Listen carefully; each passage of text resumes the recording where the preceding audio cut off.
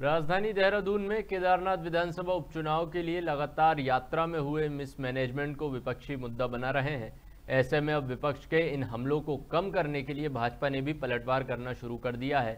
इसी बीच भाजपा के वरिष्ठ नेता राज्य मंत्री डॉक्टर देवेंद्र मशीन ने कहा कि शा, शारदा में यात्रा शुरू होने के दौरान कुछ चीज़ों में रजिस्ट्रेशन को लेकर दिक्कत सामने आई थी लेकिन सीएम धामी के निर्देशन पर अधिकारियों ने बेहतर काम किया। जिससे कि यात्रा का संचालन सफल रहा।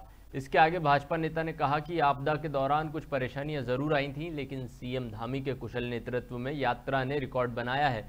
देहरादून से ब्यूरो चीफ अवनीश गुप्ता की रिपोर्ट।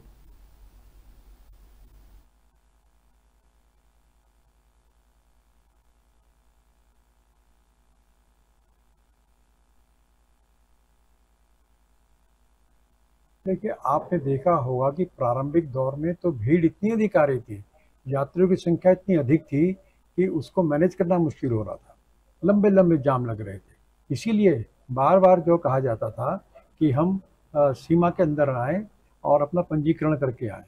और जैसी स्थितियाँ सामान्य हुई हैं तो तत्काल जो है उसको बढ़ाया गया पंजीकरण को भी। तो ऐसा नहीं है कि प्रारंभिक तौर पर रोका गया लेकिन बाद में जो आपदा के कारण जो दिक्कतें सामने आई है उससे थोड़ा अंतर पड़ा, क्योंकि एक मनोवैज्ञानिक प्रभाव सब पर रहता है।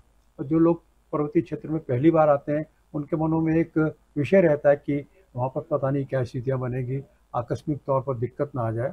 तो ये एक अपने आप में कारण रहा है, लेकिन प्रारंभिक तौर पर तो निश्चित तौर पर इतना अधिक वहाँ पर श्रद्धालुओं का आना हुआ कि उसको संभालने में हमको सरकार को बहुत कड़ी मशक्क़त करनी पड़ी।